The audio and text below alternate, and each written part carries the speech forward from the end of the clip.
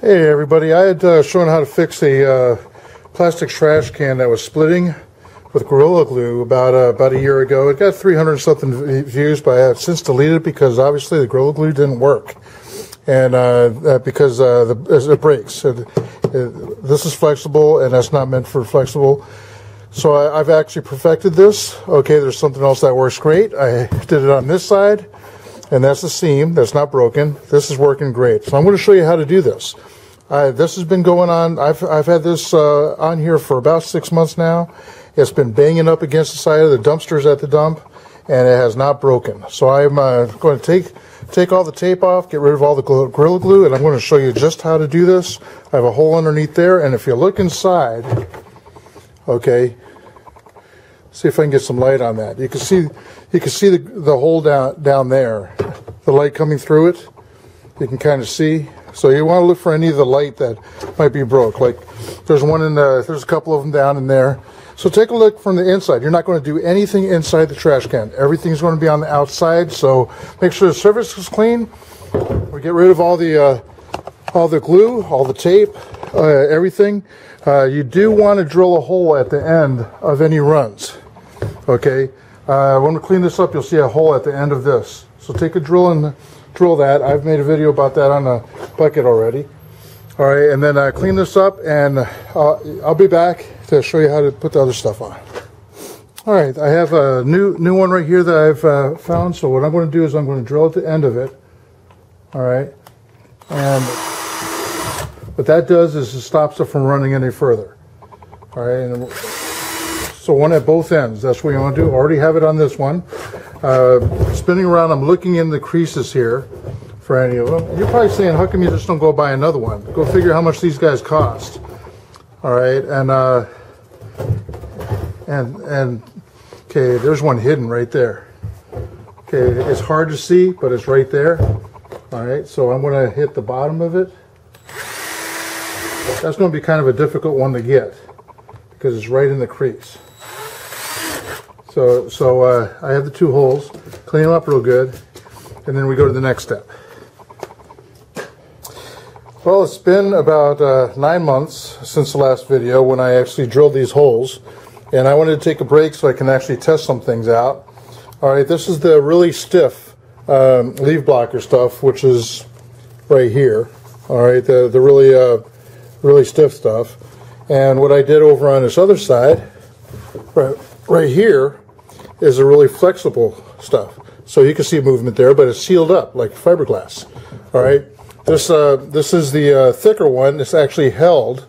All right. I don't know how long it's kind of got a gap there and all that. So I wouldn't use the the thicker stuff because it's hard to keep on. Like this guy right here, I'm just going to rip it the rest of the way off, and and and it came off. So I'm going to actually uh, put the other stuff on here. So uh, what you do uh, this is about as clean as it can be. So I'm not worried about uh, getting these closed together. It'll close together with the with the seal that's going to go on it. You want to look inside. Any any light that you see, you want to plug those up. And I think that's it. I don't know if there's any others that I did. I think I might have to. That probably sealed up by itself. All right, that's small enough to where just the spray will work. So I'm going to put this uh, on there. What you're going to need is is a spray. Okay. Rust-Oleum makes a great leak seal flexible rubber coating. And I would go with the thin stuff, the weed blocker that's thin enough. I have this roll right here. All right, that's left over from a project. You always have scrap anyway that you're cutting off in a pair of scissors. Wear gloves because when you're working with this stuff, it gets on your hand, you're going to need some uh, mineral spirits or something to get it off your fingers. All right, first step, cut out the piece or pieces that you need to cover the entire cut and place them in spots just to measure them up. You're going to remove them then. Just move them aside. Okay, spray the Rust-Oleum on there and get good coverage to cover the entire area that is uh, is uh, going to be covered by the fabric, so it'll all be kind of glued down into place. Then you then you take your um, weed blocking fabric and put it into place and get all the air bubbles out, making it all flat. I use a piece of wood to do that because I don't want to get my fingers too bad. See, that's up a little bit too much, so I make sure that's flat before I put the other coat on. All right, now spray on your top coat, okay, um, which now you have a coat underneath it that's going to seal and a top coat that's going to seal, and then you let it sit for about 24 hours, okay? There's going to be some dripping on the bottom, that's okay. And what you could do is come back and actually look at it again. I'm going to set this upside down so that stops dripping, and you can go back and forth. It's going to uh, be tacky at, at first and then start drying up, and then it seals up. So I'm still concerned about that little area right there that's popped up, but uh, I think I filled it in pretty good. All right, but it, I'll tell you what, it's so watertight, and I made a video on this guy. There's water in there right now with the black underneath it, and it has not leaked. There's no no, uh, that's moisture from rain. Don't worry about this. It is not dripping from the bottom of this.